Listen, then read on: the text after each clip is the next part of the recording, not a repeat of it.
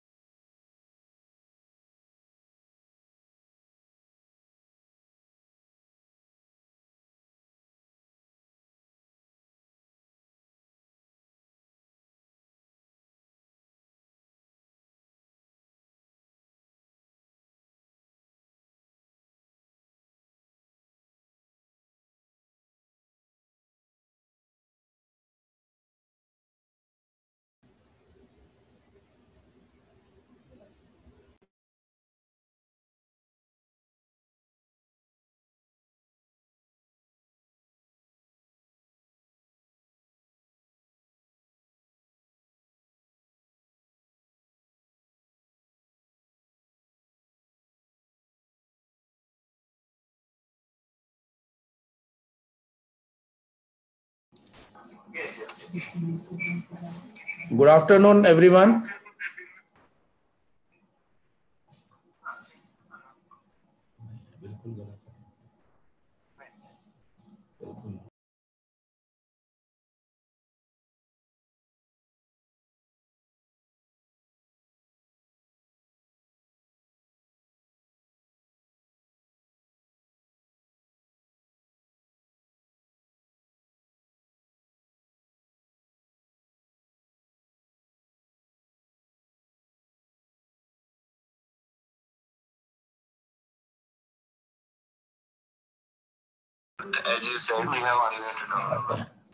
Sir good afternoon professor Talwar Abhishek good afternoon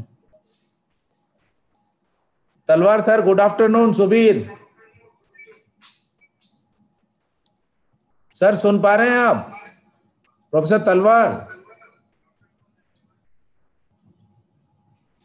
Abhishek good afternoon good afternoon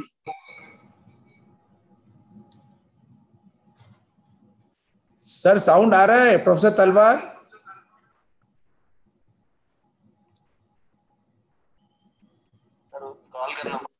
rent पे ये first अप्रैल से available है। Sir अभी सुनाई आ रहा है आपको? At least fifty five thousand पर month it's a three bedroom apartment 1502 in Tower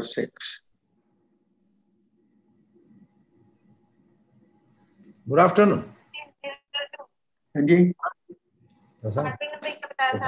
क्या क्या क्या मेरा लाइव क्या कहा जी? हाँ जी।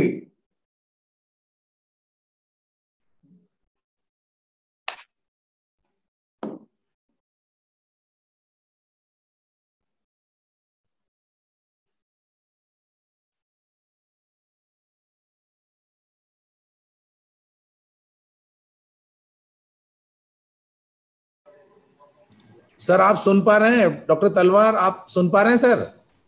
हाँ आपकी आवाज़ तो आ गई हमें। नमस्कार नमस्कार सर। डॉक्टर श्रीवास्तव कहा कि आपका एनुअल लेक्चर है हाँ तो सर ज़रूर ज़रूर। ज़रूर सर बहुत अच्छा लगेगा recall my visit to you Nice to see you. Nice visit after such a long time well I mean time flies yes sir doctor Talwar sir I नमस्कार hope all is well with professor Adam नमस्कार जी। नमस्कार जी नमस्कार। कैसे sir? Sir Adam ना unmute yourself mine is mute doctor Subir हाँ you are right doctor Srivastava doctor Adam ना unmute yourself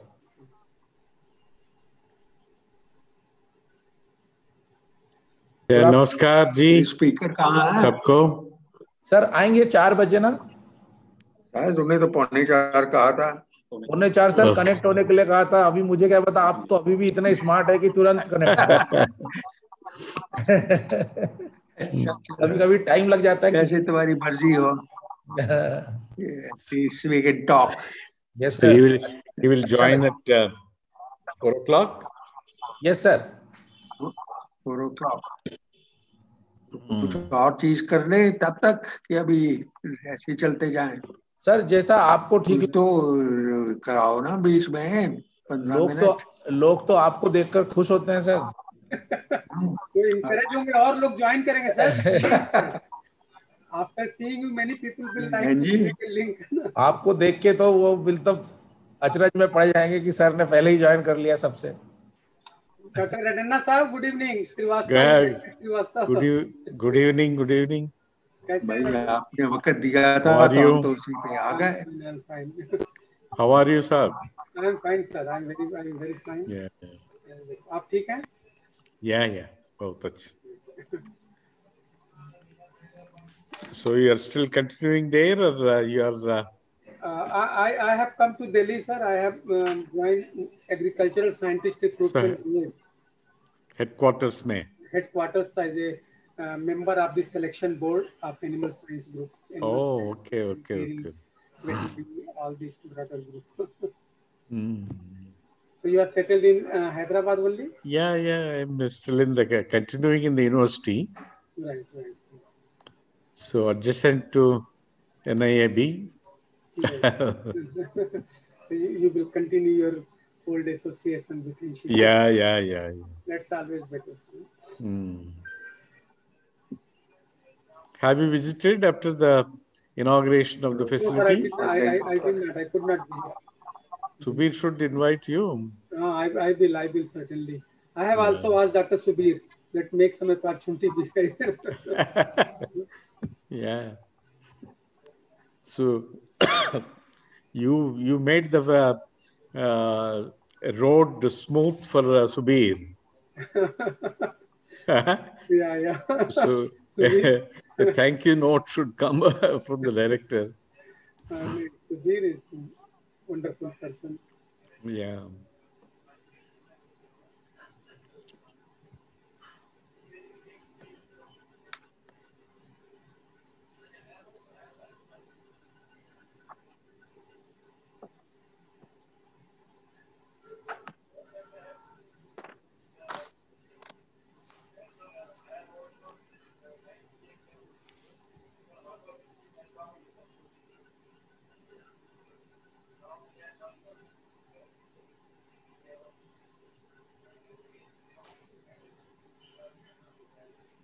Nitya, can you hear me? Nitya Vadva? Yes, sir, I can. Ah, Nitya, can you do me a favor? I Yes, send, I send Zoom link to uh, Dr. Pramod Garg for his personal participation. I think by mistake he has he has circulated. Oh, okay, okay. So? I'll I'll leave the Can you can you ask all of them to join through YouTube? Ruchi. Okay, we'll do that, sir. I'll also In- disconnect and we'll all join through. No, you, you don't disconnect now. You stay there so that you can see others and keep calling them and go to YouTube. At the end, you disconnect. Okay, thank you, sir. I'll do that. Sir. Thank you. Call them to connect at YouTube. Yes, yes, sir. Yes. Thank you. So meeting will be starting. This is Prabhat from National Brain Research Center. Uh, so it will be starting at uh, four o'clock. Okay. Okay. I can't hear your video is mute, I think. I think sir has joined, but it will start at four o'clock. Okay, no problem.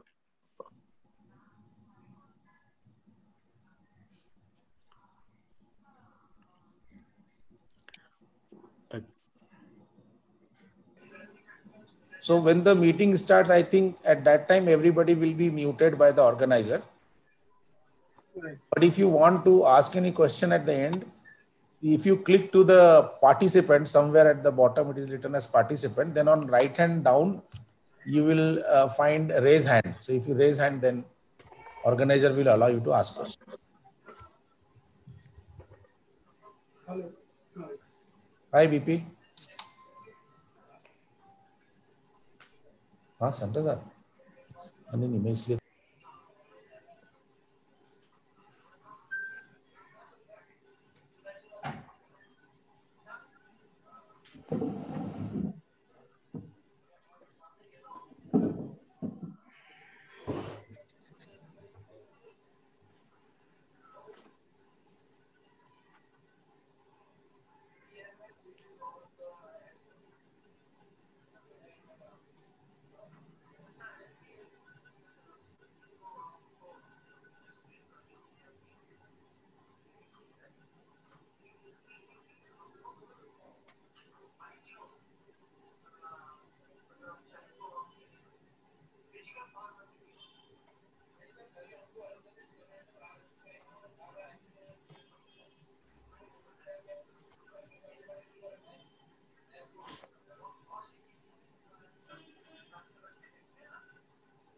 Hi Sindhura, how are you?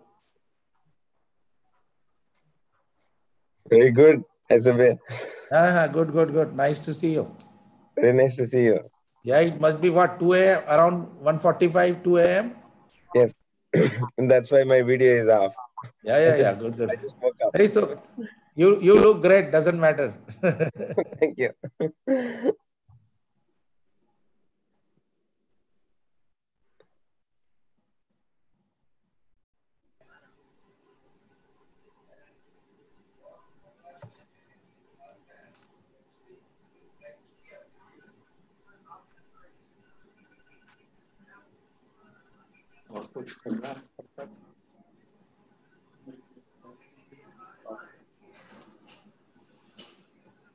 उससे ये मेरा यो Hey, Subir Vijay here. Uh, Hi sir, how are you, sir? very good. Um, will you let me share my screen sometime? Yeah, yes, sir. Um, when uh, when I introduce after that, sir. Okay, no problem. I'll just join in a second. Yes, yes, sir. Yes, sir. Yes, sir.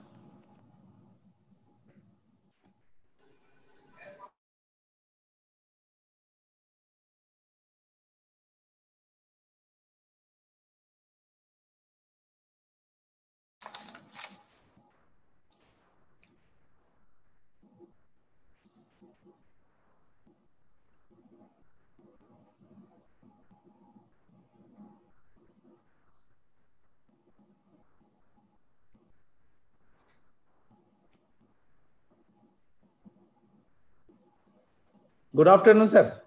Good afternoon. Good afternoon, everybody. Good to see everybody. Good to see Dr. Talwar in particular.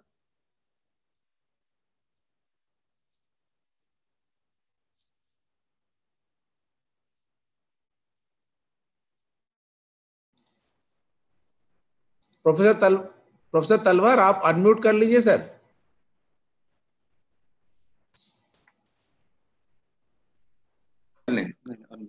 हाँ sir अभी आप बोल सकते हैं। है? अभी ठीक है? हाँ सर डॉक्टर विजय राघवन आपको हेलो कह रहे हैं। हाँ तो मैंने मैंने रिप्लाई किया जी बिल्कुल।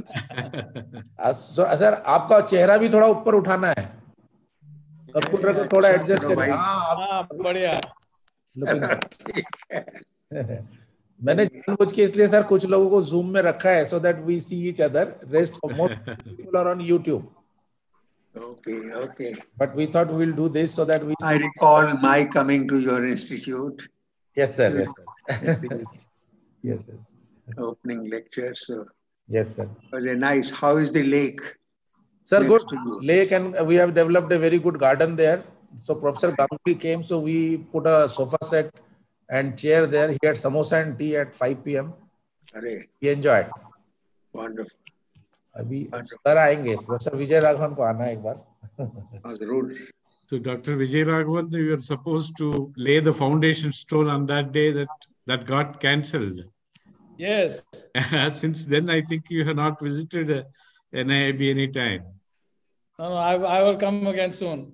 no sir the the hostel inauguration i have kept pending unless you come that inaugurated It has come up really well, very Yes. well. Wonderful and wonderful to see the auditorium and people there. हाँ sir ये दो lecture अलग अलग lecture halls थे sir ये दोनों मैंने बीच में से वाल तोड़वा के ऑडिटोरियम बना दिया मैंने कहा एक ही बार गवर्नमेंट देती है बाद में तो नहीं बनेगा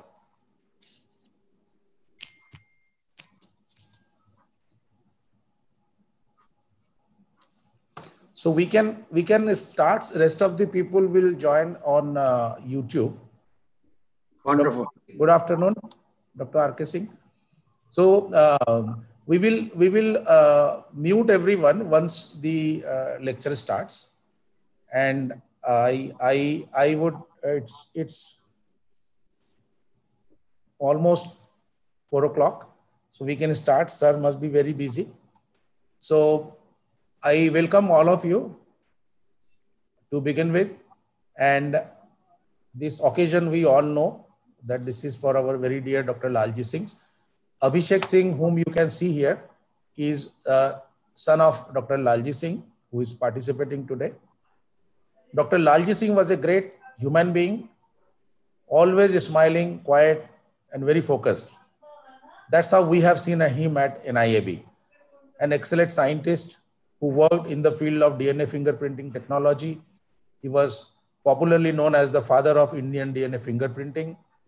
Dr. Lalji also worked in the areas of molecular basis of sex determination, wildlife conservation, forensics and evolution, and migration of humans.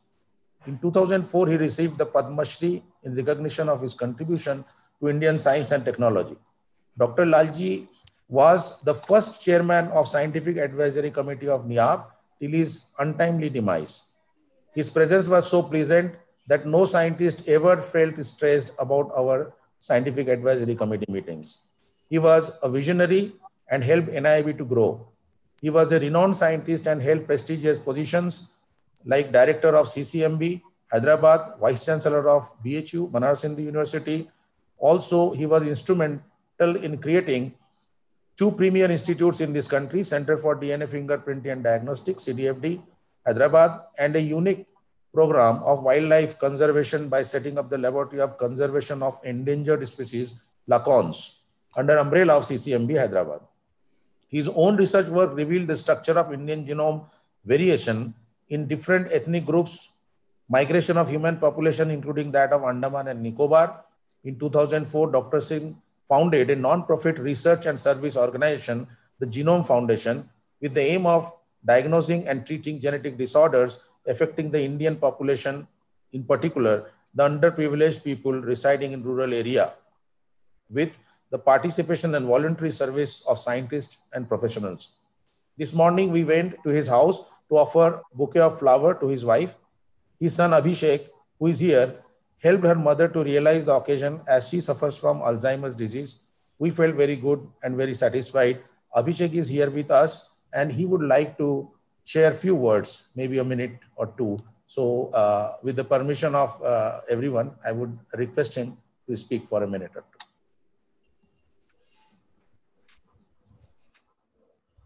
Thank you, sir. Am I audible? Yes, you are.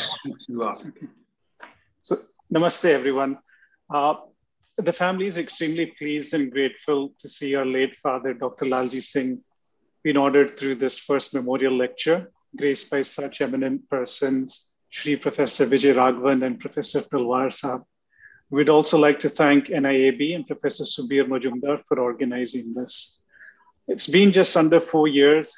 Our family and this great nation lost the legend Dr. Lalji Singh under such tragic circumstances due to negligence for which the family still does not have closure. So even till today, it is a very, it is a very emotional moment for all of us. However, his legacy and contributions to science and the nation live on. He was a very humble personality with deep connections to the grassroots, and he had a very strong desire to take the benefits of science to the masses. May his departed soul rest in peace. Thank you, sirs, for honoring my father. Thank you so much, Abhishek, and our good wishes to your family, as always, forever. And I thank you for joining. Uh, uh, whenever you have some work, as you said, you can leave in between. But thanks for coming and joining us. Uh, we are thankful to the governing body of NIAB who helped us instituting this lecture to be delivered by a prominent figure every year in honor of Dr. Lalji Singh. For the first lecture, we have chosen Professor Vijay Raghavan. My joy has no bound today as we could get Professor Vijay Raghavan amongst us for this noble occasion at NIAB. Dr. Renu Swarup, Secretary DBT, is busy with parliamentary committee meeting, and but she has conveyed her thanks and regards to Professor Vijay Raghavan. Professor Vijay Raghavan is a distinguished professor and former director of National Center for Biological Sciences. Sir, I will not speak more than one minute. Let's limit. Before you stop me, and was Secretary DBT and currently serves as Principal Scientific Advisor to Government of India. His research interest encompass developmental genetics and neurogenetics. He is the alumni of IIT Kanpur, TIFR Mumbai, and Caltech, USA. Amongst numerous accolades, Dr. Vijay is an elected fellow of the Royal Society, Foreign Associates of Foreign Associate of US National Academy of Science, Fellow of the Third World Academy of Sciences, and recipient of Dr. Shanti Swarup Bhatnagar Prize and was conferred upon the Padma Shri in 2013 by Government of India. Today, NIAB is doing extremely good work in the field of livestock genomics, which he entrusted us to carry on long ago with his vision. And we are proud, sir, within three to four months, we'll be releasing the first chip, which we have made, and I will detail you later on. I thank you once again, sir, and wish you everything good for now and coming times and invite you, sir, for the first Professor Lalji Singh Memorial Lecture of NIAB, sir.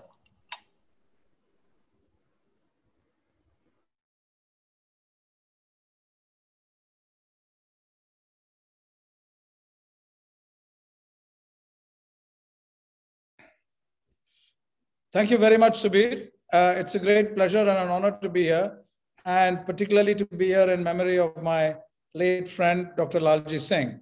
Um, Dr. Lalji Singh, you've already said what an amazing person uh, he was. Uh, and he really uh, had an enormous and disproportionate impact on the Indian biology scene. Uh, Subir, if I may share my screen, is that okay? Uh,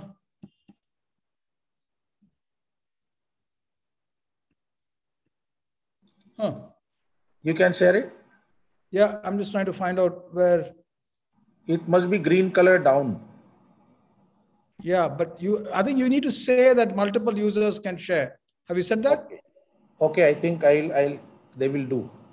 My, my team is sitting at auditorium, sir. They will do. Yeah.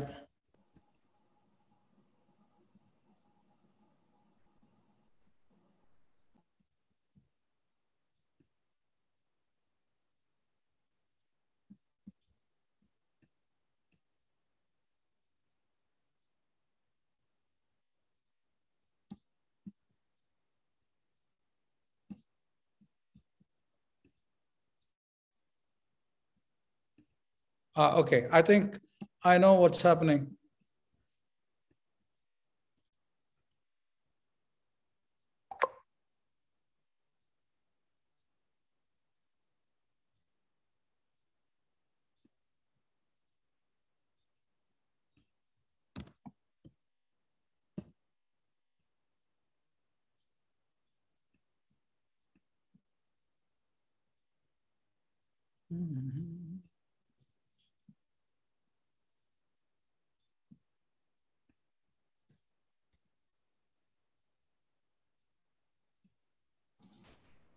Can you share now, sir?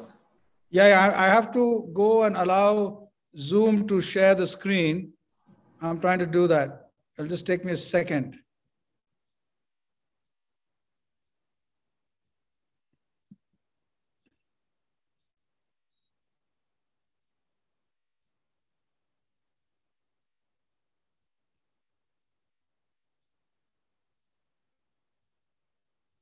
Okay, I have to um, quit and rejoin. It'll take me a second. Yes, sir. Okay.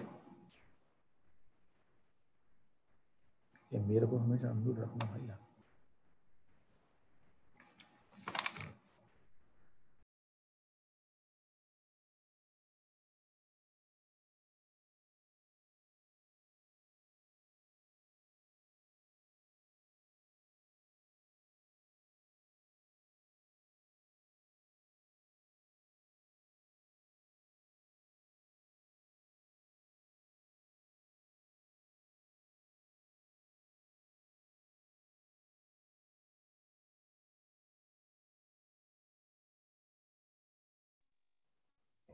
No, Good. Uh, can you see the screen now, uh, Subir?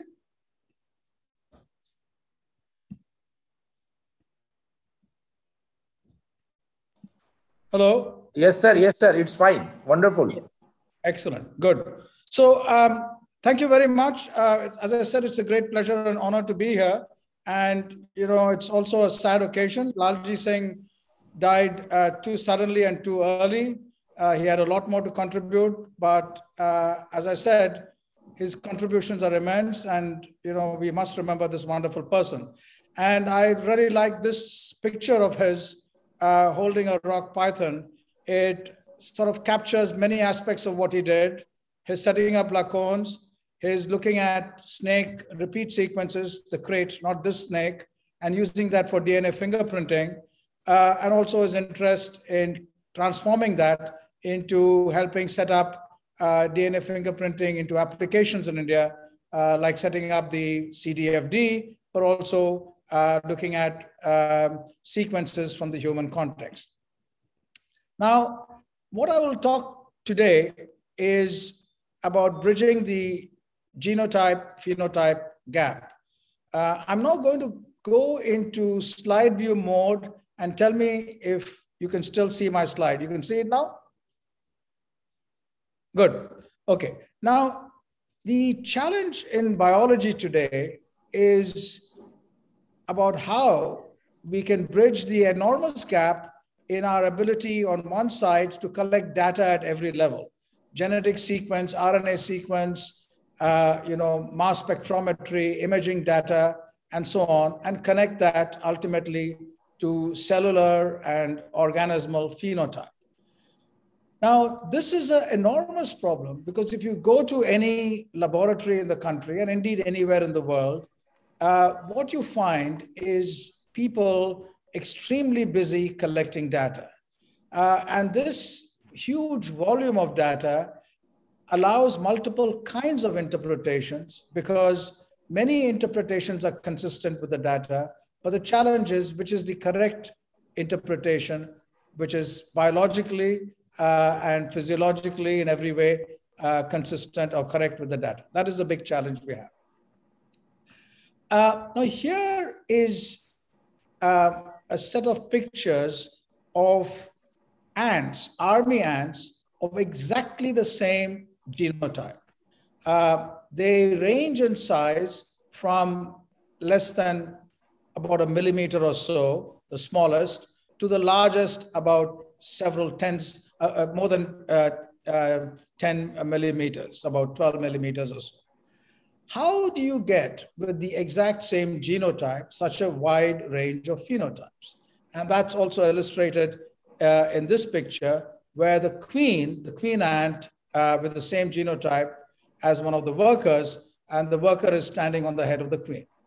Now, this is the big challenge. If you go into this ant's DNA. You will find the DNA of these two ants identical. Then you will sequence the RNA during development.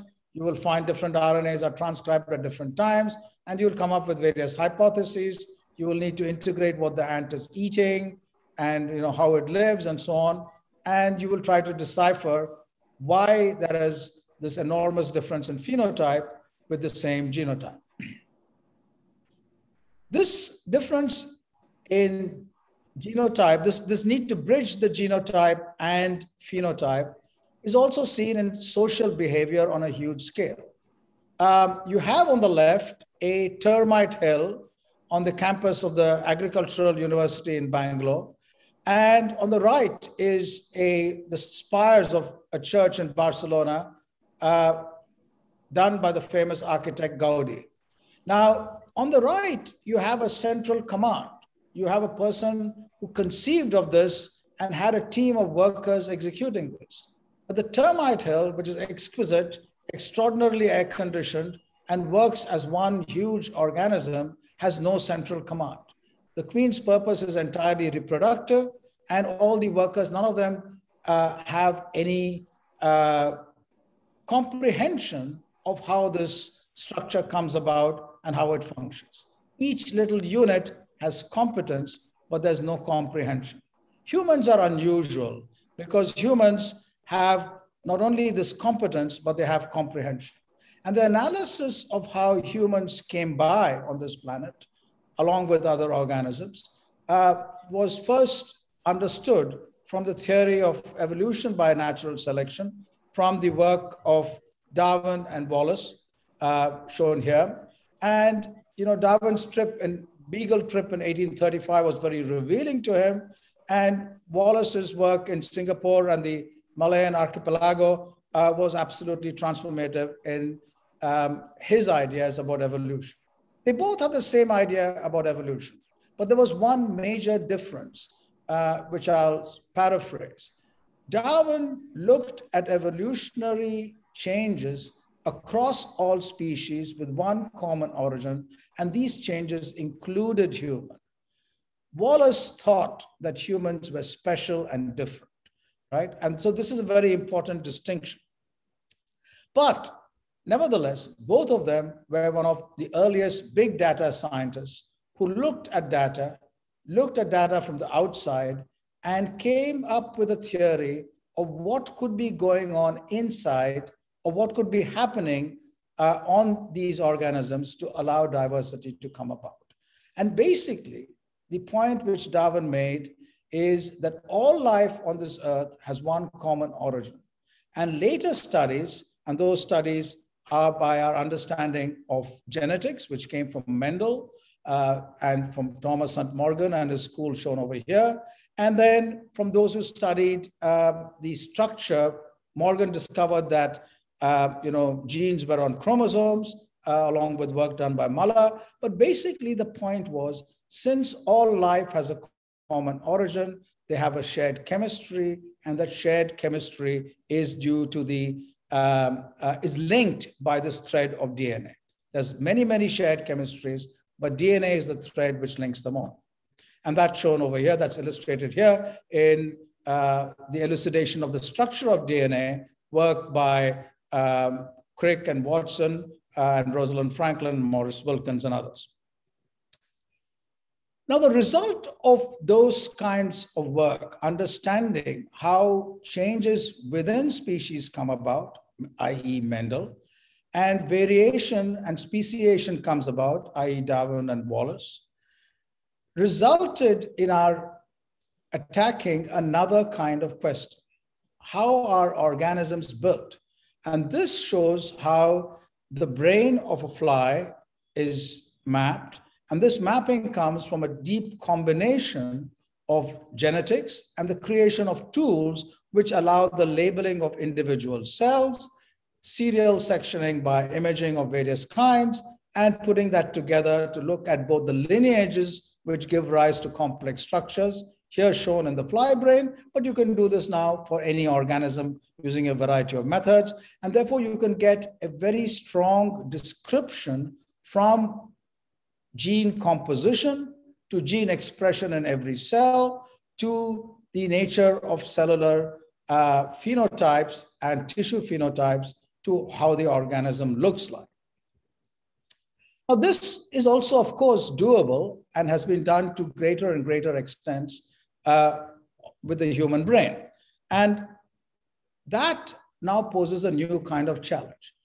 Even for the army ant or the termite or the fly, our understanding of gene sequence and its variation, our understanding of a collection of data of gene expression and its variation to build different tissues, and our phenotyping of behavior has not resulted in a good causal understanding of how, for example, nerve circuits function to give rise to specific kinds of behavior.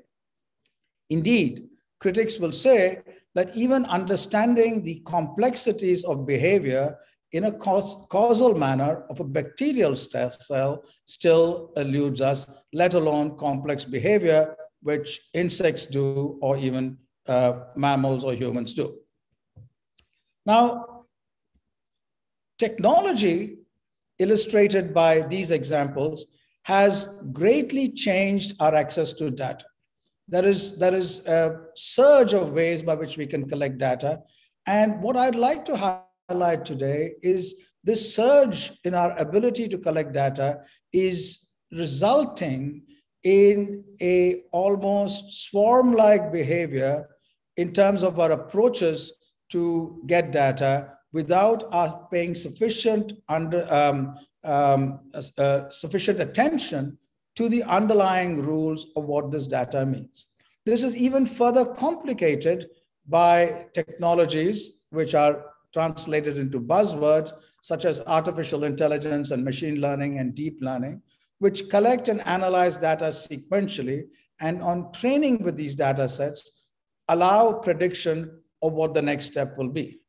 The allegation against AI and ML is that they merely collect data and tell you what will happen next. But even that allegation is going away because they can also understand and get trained on principles. You can feed them equations, for example, in physics and mathematics, which underlie physical behavior. And therefore, they will use that, compare that with data, see whether you know, the data is consistent, the predictions are consistent with uh, physical laws and go ahead. And you can do that similarly for biological principles. In other words, the ability to understand data is something which increasingly machines will do better and better. And our, underst- our ability to understand data, therefore, needs to be questioned. Where do we fall into that? So, technology has dramatically changed this ability to understand data. So, the question we need to ask is if this is the case, how can this help us understand the universe better and apply our understanding better? You know, we can't wish away this, you know, onslaught of big data, but what does it mean in terms of our work and what does it mean in terms of understanding? So there's no point in our work collecting data and saying something will happen next. We need to be able to understand that better, expand our knowledge, but also expand possible roads of uh, application. So what we need to ask if we need to apply our understanding better is what are the questions we ask of big data today? Now, those questions relate to where does the data come from? How are we collecting it? What is provenance? What are correlations and what is causal? And for example, you will have, find a strong correlation between noodles and Chinese, but it doesn't mean that noodles cause Chinese, right? So we need an understanding of where noodles figure in our collection of big data about, let's say, Chinese. Now, secondly, thirdly, how does it help us, oh, how these, the provenance and the, the delineating the link between correlation and causality, how does it help us understand and take actions? So those are the kinds of questions we need to ask. Now, as I said, technology gives us data across scales. And the question we fundamentally need to ask is more better? Is getting more and more data better? And what I will try to show is it is valuable, but it's not necessarily better. Secondly, from the nanoscale to the system, there are a huge number of examples of success of big data. So no one is saying that don't collect big data or big data is useless or it can be uh, replaced by deep thought. Not at all. But the question is that are we picking low hanging fruit? You, for example, might do a huge RNA seq and you find some interesting correlations, and then you find 10 different genes which are of interest. You find three of them are one you can handle, and then you write a paper with one of them. Is this the approach we want to take with big data, or do we want to do something uh, conceptually at a new level. And finally, where do we go from here? Now, one of the people who applied their minds best to these kinds of questions was Sidney Brenner. And Brenner, as you all know, was one of the 20th century's and early 21st century's greatest biologists.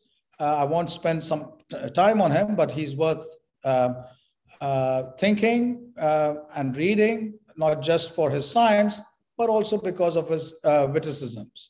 Um, he famously, seeing a graduate student at a Xerox machine, once said, you should be Neuroxing and not Xeroxing, and so on. Now, Brenner said that we're thirsting for some theoretical framework with which to understand big data. We have still not managed to do that, uh, particularly in biology, but this is so true of cosmology or you know, earth sciences and so on and so forth. Many believe that more is better, he said, but history tells us that least is best. There are people who, you know, like Mendel's contemporaries were looking at, you know, sizes of plants and animals and measuring them and looking at dry weight and wet weight. Mendel simplified that by looking at key characteristics which he chose. And Darwin similarly uh, made you know, leaps of judgment which were uh, based not on the volume of data, but on their quality. So what Brenner says is that we need theory, some theory, and a firm grasp on the nature of the objects we study to predict the rest. In biology, we pretty much have, you know, at a crude level, the theory of evolution, and roughly the central dogma in with some variations. So data is not enough. It does not speak for understanding. You know, you have data, from that you have to get information, from information you have to get knowledge, from knowledge you have understanding, from that understanding you take decisions. It's a long haul. And there are, you know, as I'll tell you, um, you know, we must, as Brenner says, generating data is very different from this understanding. And to understand, we must get to the core and ask what is the unit of abstraction in each discipline. You know, in astronomy, or for example, what's shown here is two black holes, uh, you know, which were used to look at, uh, you know, um, uh, you know, look at gravity changes. Uh, but you can also do, uh, you know, analyze big data in biology in big ways. Now, the conversion of data into knowledge is the biggest challenge we face in our research going ahead. And today, and for a long time, there is a view that we must take what is supposedly called a systems approach, meaning as opposed to, many people will uh, tell us, as opposed to a reductionist approach. Now, this is a false binary. There are a whole lot of biologists who will criticize the reductionist approach and saying that you cannot understand anything about termite behavior or animal behavior or uh, human behavior by looking at uh, the genetics. Uh, and there will be others, uh, cell biologists, who will say that you cannot understand anything without looking at uh, genetics and cell biology. And both are right and both are wrong. So the systems approach claims, claims to be able to solve this problem of handling big data. But we must remember that if you have a large amount of data and deducing the fundamental principles which underlie function from that large amount of data is what is called an inverse problem. You have, you know, the data and you must now look at the inverse to see what caused that data to come about. The square root of 4 is 2, right? So finding the square root of 4 is an inverse problem, but the square root of 4 is also minus 2.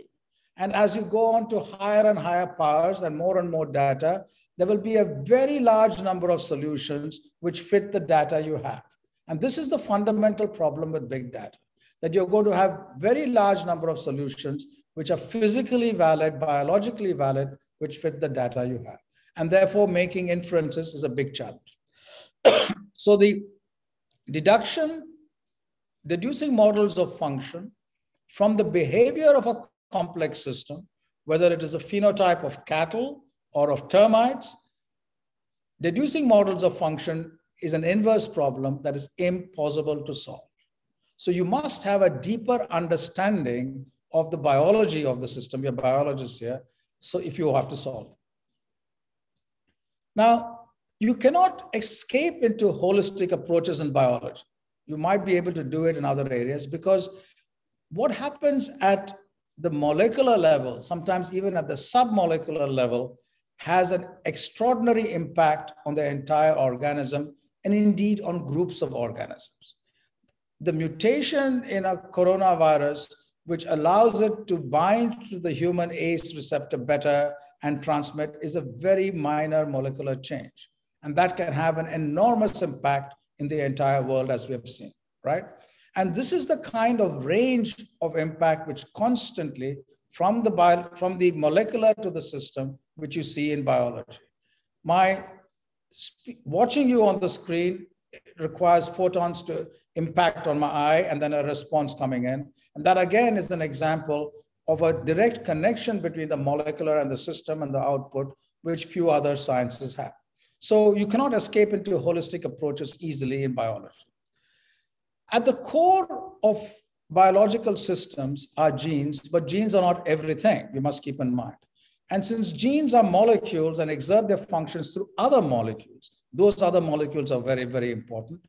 The molecular explanation must constitute the understanding of biological systems. So this is a very important statement that a molecular understanding, understanding must constitute the core, uh, the molecular explanation must constitute the core of our understanding of biological systems. So that explanation needs to come in every case. You know, is the virus affecting humans in what way? Uh, you know, how does the immune uh, system react? All of that is the core of our explanation of the biology of the organism which we see. Now, we must keep in mind that this molecular exploration cannot be studied or understood by collecting molecules and seeing how many they are and where they're expressed. And one very beautiful example of that is understanding nerve function, uh, the propagation of the action potential, for example, and that explanation for that came from the Hodgkin-Huxley equations. And this is a giant squid whose photograph is shown over here. Now, if instead of doing the physiology, if instead of patching the nerve, the neuron, and looking at voltage and current clamps and deducing uh, an equation which predicted the presence of various kinds of channel, if instead of doing that, Hodgkin and Huxley squeezed out the RNA from a neuron and did the entire RNA seq and translated those RNA sequences and got the set of proteins in that neuron, we would know next to nothing about the physiology of the giant squid neuron.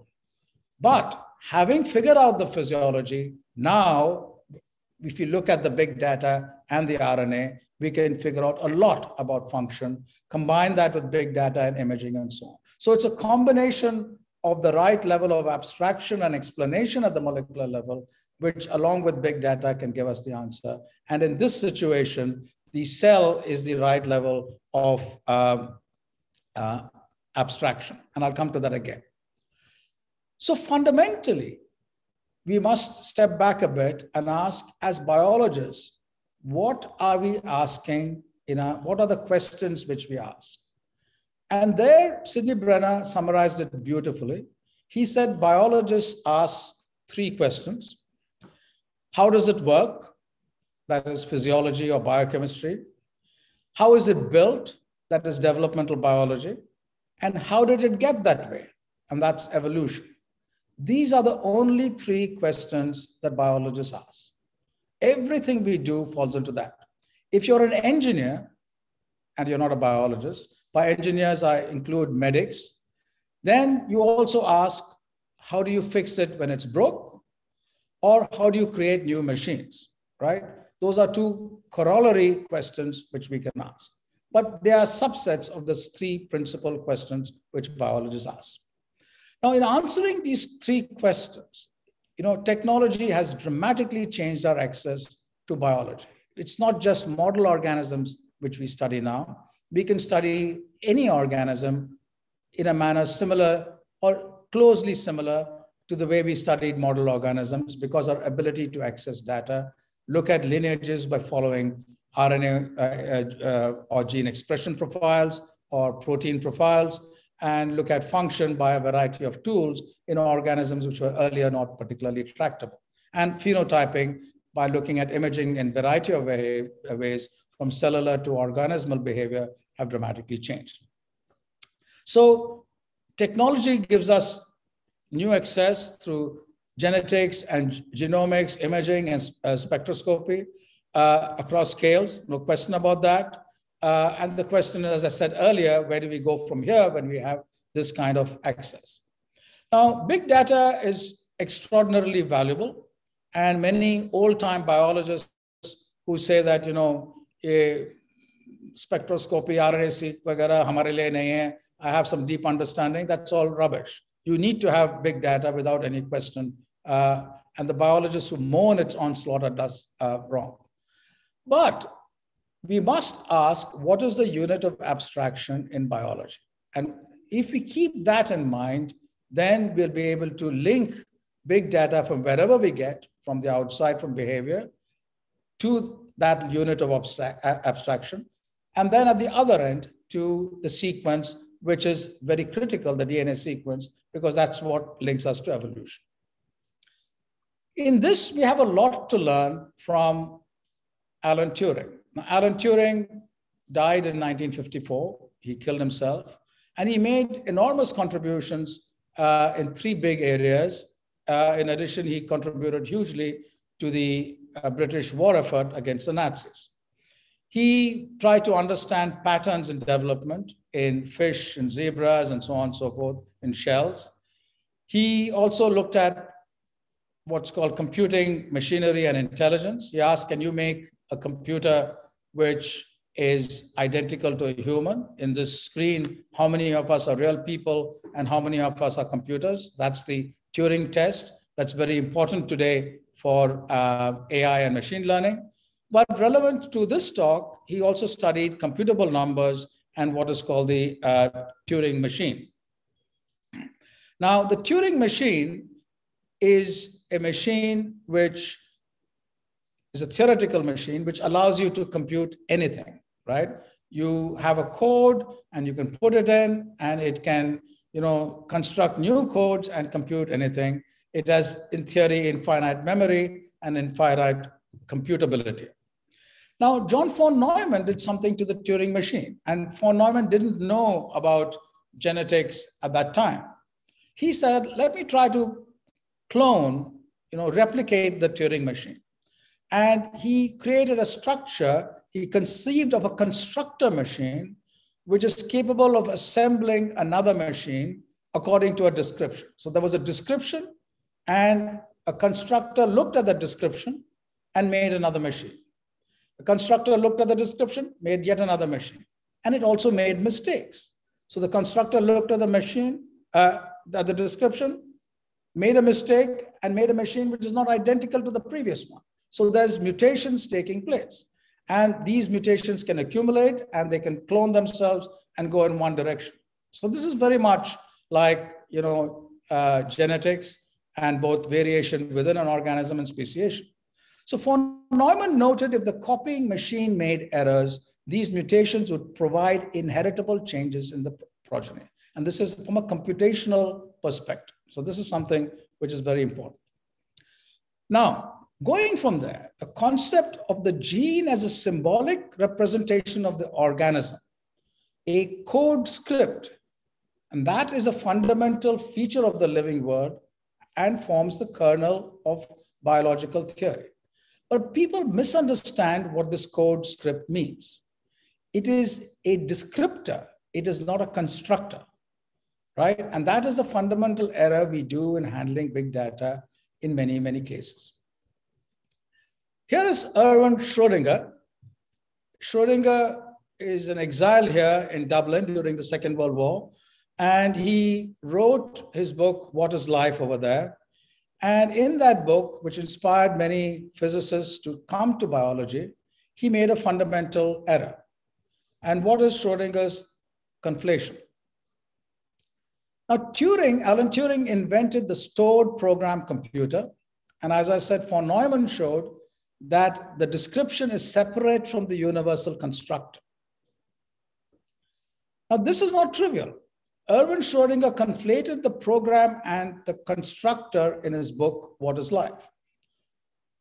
What Schrödinger said, inspired by what Delbruck and Timofeyev Ressovsky did about the nature of the gene, Muller's work on uh, you know, X-rays affecting the gene, and Morgan's work, he studied all of that and said, you know, genes are on chromosome, and chromosomes, i.e., the genome, which we would call today, is the architect's plan and the builder's craft in one. Those of you who have, you know, gone into this crazy spate of building institutional buildings know that that is not right. You cannot give the architect's plan and then expect the building to construct itself. You get the architect's plan done by the architect, and then you work with the CPWD or whoever, and you know they start interpreting this and constructing this. And you know they can interpret the architect plan differently, one way or the other, and the output can be different. So, but Schrodinger said that the uh, chromosomes have both the architect's plan and the builder's craft in one. Now, this is wrong. The code script contains only a description of the executive function. It is not the executive function. And our fundamental understanding, which we need to have today, is the left-hand side of that you know, DNA sequence, the regulatory part, to see how the environment, the cellular environment, the environment of groups of cells, outside environment impact to make the architect's plan into the builder's craft. And we constantly conflate this. We constantly look at sequence information by itself being informative. We carry it to different levels. We say RNA sequence is more informative, protein sequences, even uh, protein expression profiles are even more uh, informative, and so on and so forth. But we don't understand that we need to have both an explanation for the architect's plan and the builder's craft. Now, to, for us to be able to understand this, we must choose the right level of abstraction. If we look at genomic sequence or RNA sequence and look at human behavior, then there's an enormous genotype phenotype gap, and we will be making all sorts of crazy assumptions linking uh, RNA expression profiles at some stage in a person's life with their behavior and so on and so forth. It will, you know, work 50% of the time. It's sort of like astrology predicting the gender of your, the sex of your child, and that works 50% of the time, right? It's pretty much useless. Uh, and therefore, we need to have a better understanding of the unit of abstraction if we have to understand how big data uh, impacts on studies. And that unit of abstraction, as I said while talking about the Hodgkin-Huxley equation, is the cell. Cells get information from DNA and they change the nature of, uh, of um, gene expression. They get information from other cells. Groups of cells get information from the environment and they affect organismal function. When you look at the army ants, the way the reason they behave differently is not because there's some central processing unit in the brain which tells them to lead or follow or eat or do something. It's sensory information which at the periphery at their cells, which then go and talk to other cells, which go to talk to other cells. It gives a feeling of a unified theater of command, which is not there, but we can understand that really well by looking at chemical and tactile senses and how they're being processed and how that results in mass movement, like you see in the army ants. So to understand the constructive part of the machinery, the cell is the right level of abstraction. Now, what we need to do now is to go from cells to behavior. And this is the biggest challenge we have, yet we also have the tools for that solution. And I'll end with that. Whether we want to look at behavior in human populations or in termite populations, we need to connect not only the biology to our behavior, but also sociology, economics, culture, which are extra biology.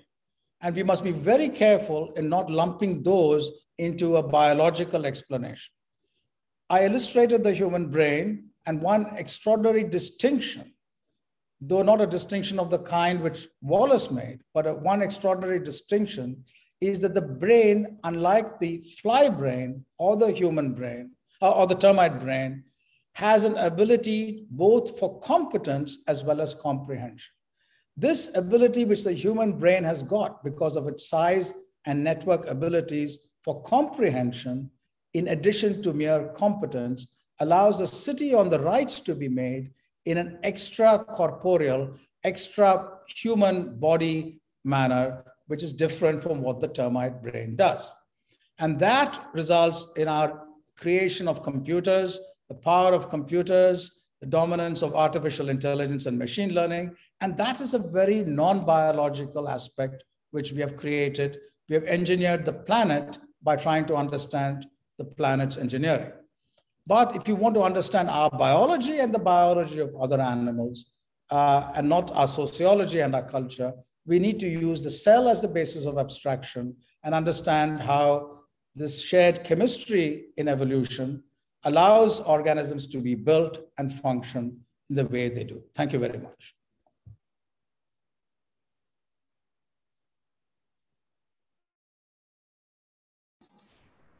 Thank you. Thank you so much, sir.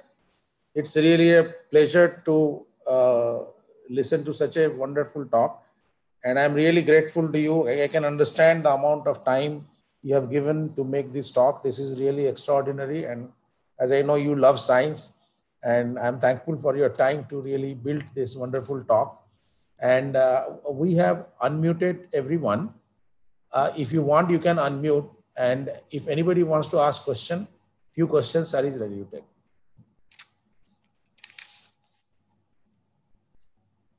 Thank you. Happy to take some questions. Sir, I'm Krishna Ella, sir. Hi, Krishna. How are you? amazing presentation, sir. What less are you doing words, here? Less what are words. you doing here? I thought you'll be vaccinating the planet. No, I'm just listening on this. I, I want to listen passionately. Well, your slide is amazing because with the less number of words, Beautiful explanation, number one. Number two, uh, we are all working in isolation. Biologists are working in isolation and they don't understand the value of data.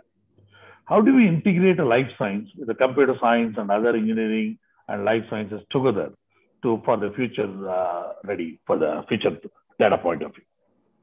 That's my question. Thank you. This is um, um, simple to state, but very difficult to do. Um, and for example, what is needed, I'll give you a Delhi based example. Uh, the NII, the NIPGR, and the ICGEB need to physically and mentally tear down the walls between them and tear down the walls between them and JNU. And JNU needs to tear down the walls between them and IIT. And IIT needs to tear down between them and AIIMS and the South Campus every student anywhere needs to be able to go anywhere else and do any course. So an astronomy student in Bangalore should feel free to do a biology course at, I, at the Indian Institute of Science. At the next level, they should be able to take up common pro projects and not have to go to three different institutional administrations to get their clearance, but one umbrella administration. And at the next level, they should be able to take on big projects of various kinds um, we have rightly created disciplines and discipline based institutions because you require depth to have an understanding of any area. But having created that, our challenge today is to break those disciplinary barriers so that we can actually solve real world problems, both basic and applied. I think there's a mood to do that. And you know, the more we take up those kinds of challenges, uh, the more we will be able to uh, take up more of those challenges. Any more questions? Sir, I, I would like to ask a question, sir. Do you think that uh, we should have institutions which should be doing research on advancing the machine learning tool and data analysis? Because when we go, we usually, what I find that Indians, I thought, are very kind of sharp in statistics and designing tools, but we just follow whatever others are doing. and there are institutions with uh, big machines and just generating data and following what others are saying. But what you are saying is correct that tomorrow uh, there is a code uh, script which contains the description to execute a function. And one architect made it, let us call it, he created RNAs, and then we try to do the genotypic phenotypic correlation. Tomorrow we find that there is another architect who designed some other code which is creating microRNA, and our whole philosophy keeps on changing. So I think, do we have an institution in India where you may be knowledgeable that we are working on honing our skill to do this job as other countries are doing? You know, this this is a um, thank you, Subir. This is a problem which is um, also solvable given the extraordinary um, range of talent available in the sites of big investment of science at least and it needs to be expanded to other areas. So let me very briefly address both these. If you take Hyderabad, for example, you have extraordinary computational abilities in Hyderabad, in the institutions there, and you also have extraordinary biology, chemistry, drug development institutes, and so on and so forth. The problem is that intuitively, in today's world, biologists, even in the West, in, in significant numbers, and much more worse situation here, are not expert in handling big data in a comfortable manner, right? Uh, this is not something which is not learnable. Just as you know, uh, five or ten years ago, people were not comfortable with handling big data in uh, microscopy and imaging. They are. That there were earlier sets of people who are not comfortable in handling cell-sorting data. Now they are. This is something which can be learned at a certain basic level. That allows you to collaborate with the big engines of big data analysis. Now, from the government's point of view, there are there's a supercomputing mission, there's an AI mission, so there's lots of resources available. But I find that those are tapped into by computer scientists and engineers and not by biologists, even though, for example, the supercomputing mission was put in place with biology being a major core. So we really need to have that push in a big way. The challenge is a very simple one. Um, institutions are very tentative about taking on leadership roles and they treat all other institutions as equal partners. Now, that is very valuable in terms of collegiality, but you need to have one of them, just as you have the um, notch pathway selecting one cell and all the others uh, are not. You need to have a leadership institution coming up in each of our major centers who performs this integration. In Bangalore, the Indian Institute of Science could do this. In Delhi, uh, IIT could do this. In Hyderabad, maybe the Central University can do this. So, you know, these are kinds of uh, leadership roles in this kind of integration, which needs to be done. Rajesh is disagreeing with me and he's raised his hand. Rajesh? No, not at all. I was I was in fact asking going to ask you, you know, how do you do mission programs in biological institutes actually? So it's very interesting. You know, if you look at the 30 meter telescope, which is a few thousand crore project, or a square kilometer array, few thousand crores, LIGO, few thousand crores, and you add up the total number of physicists and astronomers in that, it will be same as the number of people on the screen, right? So how do they get it through? Now, you can argue that they, they put in programs which are part of international collaborations, but biologists haven't done that either. Okay, now there's a, no shortage of programs which biologists can put in here, which you know can have a enormous impact with, say, let's say the finance ministry or the government or whatever you call it. Now, these can be a combination of things which are aspirational, like space missions, you know, touch a chord of, you know, let's all do this, or they can be of great practical value. There's no shortage of those kinds of things. But I think we need to have a group of people who relentlessly push bottom up and take the opportunities which are top down, which should also be available. Physicists all over the world have learned that. Computer scientists have learned that. Biologists have done that in some places. We need to learn that a lot more. Manoj, you have any question? Can I, can I come in? Please. Yeah, yeah, Pramod, please, go ahead. Yeah, excellent talk, Dr. Vijay Raghavan. Thoroughly enjoyed it. Uh, so you were talking about breaking the barriers between medical science and, and technical institutes, and you gave an example of AIIMS and IIT. Having moved recently from AIIMS to now THSTI, um, I think this is an excellent idea. If you look at the medical science, biology is at the core of medical science. Unfortunately, uh, in medical science, we gradually move away from biology because you are supposed to treat only the disease. And if you go up the ladder in the academic circles, then you know you are doing some kind of research, but but most of the core biology is left out somewhere down the line. And now you talked about big data, which is so very important, as you so, so rightly said. The question is, in today's time, if we have to change the medical science and bring in other disciplines, including the big data and engineering, I think uh, we have to have some kind of a university model where medical science and engineering institu institutions and other are housed together. And I think IIT Kharagpur, for example, has taken a lead in setting up a medical school. So, what is your thought on having some kind of an integrated um, technical medical universities, uh, which can actually, uh, you know, give you much more inputs in this regard? Your thoughts on that? Thank you. Sir, sir, you have to unmute. Two points. One, what is happening now, and uh, one which was happened, which happened earlier.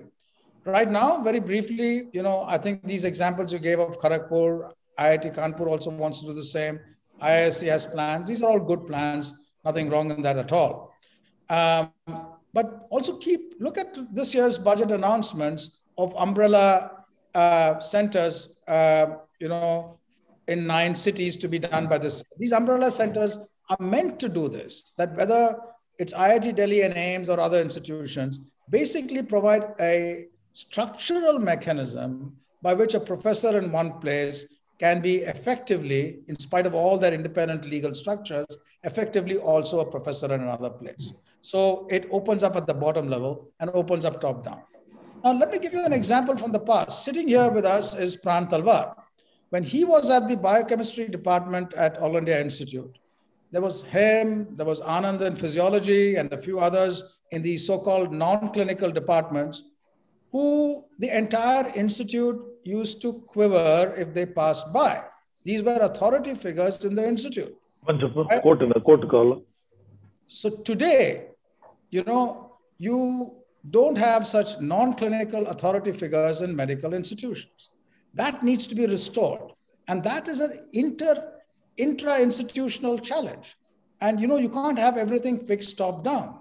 So All India Institute must have, you know, respect those who are PhDs as much, if not more, than clinicians, because those are the sources of knowledge and links to the entire world. And that kind of a way by which you can get and hire the best computer scientists in the world to become a professor at All India Institute is feasible. You have the legal and other autonomy to do that. But that must, you know, come from a bottom-up expressed desire. Thank you. Any more questions? Uh, Prasad, question? Prasad? Yes, sir. One Hello. of our students Amit has a question, so you can ask. Yeah. Okay. Uh, so one question. So biology is very non-linear. So it is very difficult to fit in such non-linear data sets into machine learning and predict biological function. So how it is, how true will that prediction be when you do such predictions? Well, you know, there are broadly two aspects in such in predictions. One is predictions which have um, utilitarian value. And there, in the large nonlinearity, which you rightly pointed out, you can focus from a utilitarian perspective on ranges which are effectively linear. So, for example, you can say, I'm going to look at certain kinds of pathologies in skin cancer or in interpreting x rays and so on. So, you have narrowed down, you're not looking at the whole range, but you're looking at a small linear component of that range and your predictions uh, become good. But what is happening, which is both very interesting and frightening is the increasing ability of big data to perform integrative functions. If you had asked me about five years ago, I would say, well, it's not likely that machines can think about complexities of biology, quote unquote, think about complexities of biology, and you need trained biologists for that. But that is changing so rapidly. I mean, we are nowhere near artificial general intelligence, i.e., something which passes the Turing test. But we are getting better and better at various examples of artificial narrow intelligence. Uh, and for example, uh, mimicking a termite hill would be an example of artificial narrow intelligence.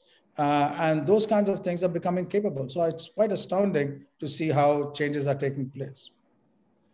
Uh, so with this question, uh, we will close the question answer session. I thank all the all the people in the audience, very big dignitaries, and really you have responded so well for our invitation. And I feel honored.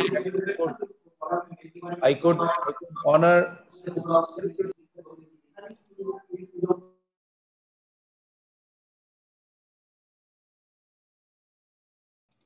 So I am really feel I am feeling honored that all of you have responded well to honor Professor Vijay Raghavan. So it's my pride that I could really uh, ensure that so many big people have joined and interacted with him and attended his talk. So that gives me a satisfaction that uh, although I, I, I, was a little uh, apprehensive whether I'll be able to create a, a, a kind of uh, scene where I can really, from bottom of my heart, show that, sir, I have worked hard to ensure that your talk is really, really read, studied, loved by all. It's on YouTube. So I think people, a lot of others have watched. We have circulated it very well.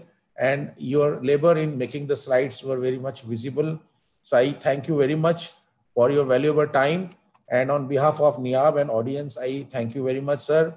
And I would, uh, somebody will deliver some memento in your office. So please accept that on our behalf. Two things are yet due, sir. One is the dinner with me since you made me director of NIAB and we couldn't set a date. and second, the inauguration of our hostel block by you when you come to Hyderabad. So please remember next time you come, give us three minutes. Hope that you will uh, note these two pending issues and oblige us in future. Although we all have become several fold busier than before, but the feeling that you still have some affection for us is and will be a great possession for ours uh, in our mind and thank you very much again, sir. And thanks to audi audience for being with us. Thank you so much, sir. Thanks a lot.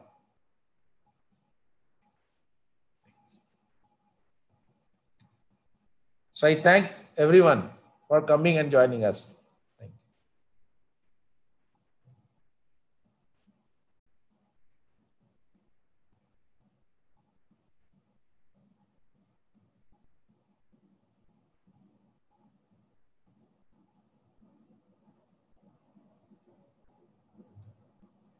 Thanks Indura thanks Manoj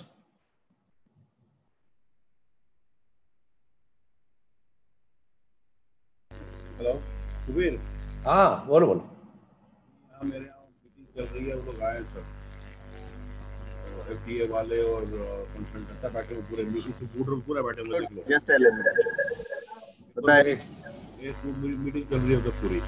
अच्छा बहुत अच्छा बहुत guide to Yeah, yeah, they will come. They are coming. Okay. Indura, can you hear me?